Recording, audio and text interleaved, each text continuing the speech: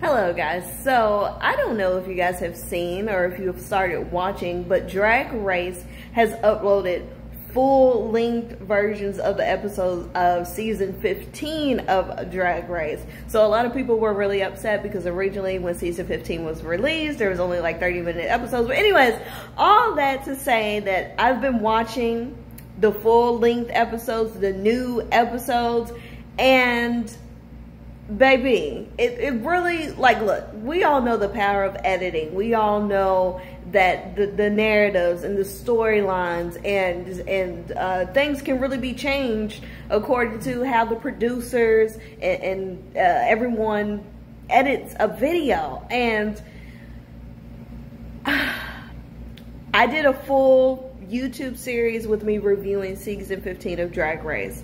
And I must say now that I'm seeing the full length of the episodes that have been released, thank you, World of Wonder. Thank you, RuPaul, for releasing these, MTV, and whoever made the executive decision to do this.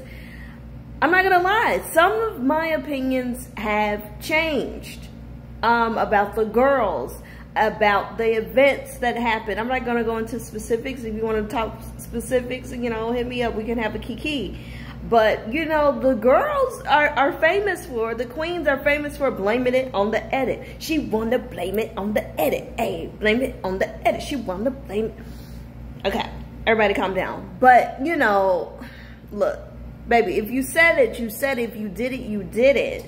You know, you gave the producers the material to work with to edit it together in a way that maybe that you didn't like. But you know what? Seeing the full episodes baby. Maybe some things can be blamed on the edit. But in some cases, um, these full-length episodes are not doing anyone any favors. Now, one example I will give, the Miss Robin Fierce, baby.